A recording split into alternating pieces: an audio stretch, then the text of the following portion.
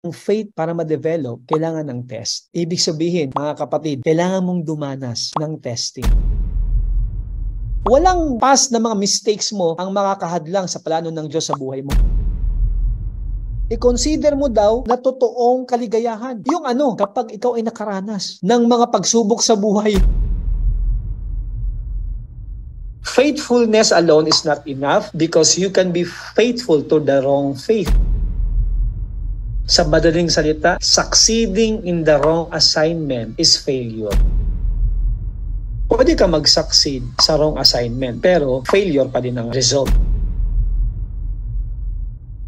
Parang ganito, kung merong teacher, binigyan tayo ng test, at ang sinabi sa atin, answeran nyo lang yung lahat ng odd numbers ng mga questions. Yun lang. Tapos, wag yung answeran yung mga even na numbers. Pero ang ginawa mo, inansweran mo yung even. Perfect mo yung even ng mga question. Mga even numbers, yun yung na-answeran mo. Pagdating sa teacher mo, kahit na perfect mo yung even numbers, bagsak pa din tayo. Bakit? Ang instruction, odd numbered questions lang ang dapat mong answeran. Konting lihis, ang nakalimutan mo, hindi pala odd yung nasagutan mo, puro even. Kahit perfect mo yung even, lahat ng question yun, nasagutan mo ng tama, failure pa din. Kasi hindi tayo nag-follow sa instructions. Pwede ka mag-succeed sa wrong assignment, pero failure pa din ang result. God is not impressed sa ating sincerity, sa ating faithfulness, sa ating commitment, sa ating successes, unless we are pursuing the right assignment. Ano yung right assignment? His assignment. Anything else is failure. Faithfulness alone is not enough because you can be faithful to the wrong faith. Sa madaling salita, succeeding in the wrong assignment is failure. Ang faith ay parang buto. Ang faith ay parang seed. Kung gusto mo ng mangga, anong gagawin mo? Magtanim ka muna ng mangga. Kailangan mo nang meron kang effort na ibibigay. Pag gusto mong yumaman, ayaw ng Diyos magbigay ng pera. Yung bababa sa langit, boom, nandun agad sa'yo. Lord, bigyan mo ko ng 1 million, Lord, boom, lalabas ang 1 million, uulan, dadiretso sa bahay mo. Hindi ganon. Hindi ganon ng Diyos. If you want wealth, God will never give you money. He will give you gift, ideas, wisdom, ability, opportunity na need mo na ma-develop over time para maging mayaman. At may purpose yung pagyaman mo. Para ma-attract natin ang Diyos, ma-release yung power niya sa atin, unang-una, kailangan tayo merong correct faith. Ano yung correct faith? Yung paniwala natin na sigurado kahit hindi pa nakikita. Kaya ipapanganak yung pagiging mapagpasalamat. Hindi ka reklamador. Grateful ka kasi sigurado ka naman eh. Paano ma-develop yung faith mo? Paano ma-develop yung faith? Yung iyong pananampalataya o pananalig sa Diyos. Paano siya ma-develop? Tinetest